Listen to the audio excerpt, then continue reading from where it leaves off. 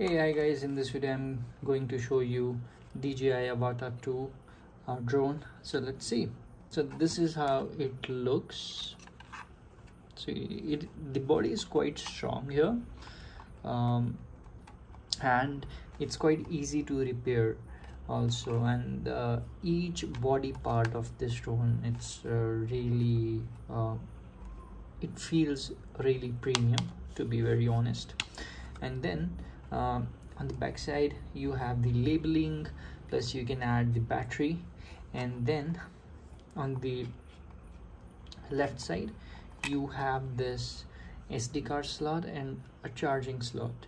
From here you can also charge your batteries. Um, then on bottom you have these sensors.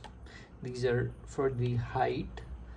Uh, and on the sides you don't have any um, sensor though you have a guards for the propellers which is quite good. The one thing i don't like about this it's like it's a uniform body it's like connected body. So let's suppose this this part breaks.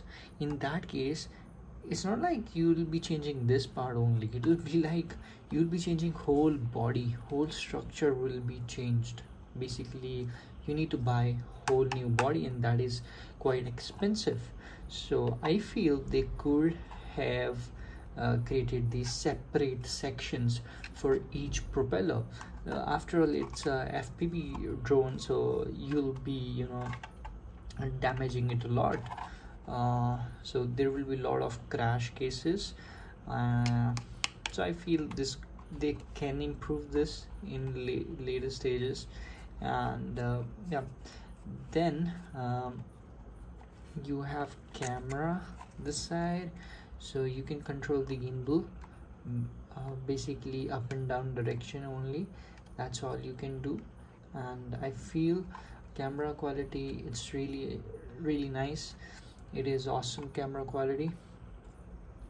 But one thing I don't like about uh, this is I think now we're in a stage where it should have some uh, 360 camera thing on this. Um, so that will be really amazing. Plus um, plus what I'll recommend is in the propellers these wiring should be hidden. So it, it it can be run in a, a rain also in a low rain. So that's it.